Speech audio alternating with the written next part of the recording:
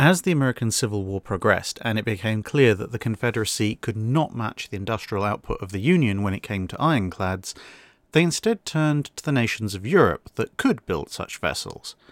In the UK, this would include the so called Laird Rams that would eventually become HMS Scorpion and HMS Wyvern. Spoiler alert, that sale didn't go through. But that wasn't the Confederate States' only attempt. In summer 1863, a Confederate agent showed up in France looking to order a pair of ironclads there as well.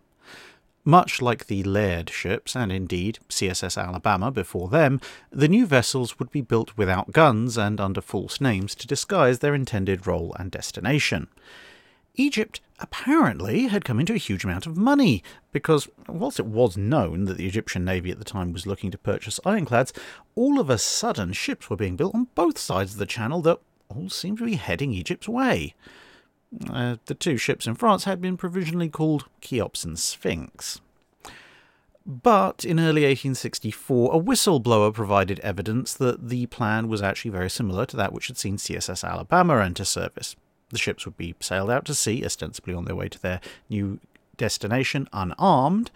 Then they'd meet up with another ship that was carrying the guns, which had been ordered separately, and with the guns added to the ship, it would then be commissioned into the Confederate States Navy. With things now in the open, the French government came under political and public pressure from both sides of the Atlantic and were forced to stop the sale. But since Prussia and Denmark were currently also at war, the shipyard decided to sell a ship each to either side. The ships themselves were somewhat small, just under 1400 tons, but fairly well equipped, with a maximum 4.7 inches of belt armour and a similar level of turret armour, all backed by well over a foot of teak. The armament consisted of a single 300 pounder or 10 inch rifled muzzle loading gun in the forward turret and a pair of 70 pounder or 6.4 inch rifled muzzle loaders in the aft turret. That said, calling them turrets is perhaps a slightly misleading statement. They were more like armoured gun houses because they didn't themselves rotate, with a number of fixed gun ports. The aft turret was actually ovoid rather than circular, and the guns themselves would rotate on pivot and rail mounts inside the quote unquote turret in order to fire on one of a number of bearings. The aft turret contained the two smaller weapons, but they could only cover one broadside arc each, so the total maximum broadside in theory was two guns. There was, of course, also the rather obvious ram bow. The ships could reach just under 11 knots, with power being provided by a pair of engines that could get up to just over 1100 indicated horsepower at maximum output, and there was a pair of masts that provided an auxiliary sail rig. The uh, Cheops ended up going to Prussia and would play a minor part in the Franco Prussian War a few years later, somewhat ironically for a French built ship. But the Sphinx made it to Denmark before last minute haggling over the contract led to a breakdown of the actual sale, but the Danes kept the ship anyway. By this point, the ship had been supposed to go to two separate owners, the Confederacy and the Danish Navy, but had not actually seen any service.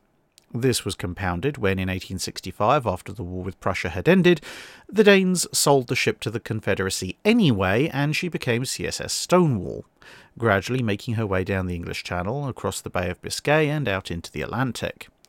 Union ships arrived to challenge her, but the Union's ocean going navy consisted of unarmoured vessels, and they ended up declining any engagement with the small ironclad.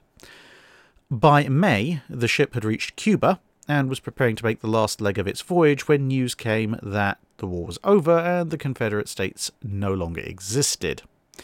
Having now failed to enter service with its owners for a third time, and with a now United States Navy flotilla offshore, the ship was briefly sold to Spanish authorities in Cuba, who promptly sold it on to the United States, which sailed her to Washington Naval Yard and to put her in reserve in the winter of 1865 as they weren't entirely sure what to do with her. A couple of years later, her prospective sixth owners, the Japanese, showed up looking to build up the nascent Japanese navy. This sale went through, and now, under the name Kotetsu, the ship set sail for the long journey to Japan, where, you guessed it, she once again failed to enter service, this time due to a civil war between the imperial court and the shogunate. The latter having been the ones who'd actually ordered the ship, but also the ones to lose the civil war. And so the ship would now enter imperial service. Technically, making the Japanese emperor the seventh successive owner of the ship. Now, flagship of the actual Imperial Japanese Navy, Kotetsu finally actually got to do something, as it sailed to put down a remnant faction of Tokugawa loyalists who tried to claim independence after losing the main war. Having had one of her smaller guns removed in favour of half a dozen light pieces and a Gatling gun, the ship would fight in two battles, at the Battle of Miyako Bay, the ship was boarded by the rebel steam frigate Kaiten, but managed to clear off the boarding party by using the Gatling gun to sweep its own decks clear. The ship would also lead efforts in the naval element of the Battle of Hakodate, which was a much more closely fought fight that saw the future Admiral Togo taking part aboard one of the other Japanese vessels. But by the end of 1871, despite being less than a decade old, the small ironclad was nonetheless determined to be of little further combat usefulness thanks to the advances in technology, and renamed Azuma.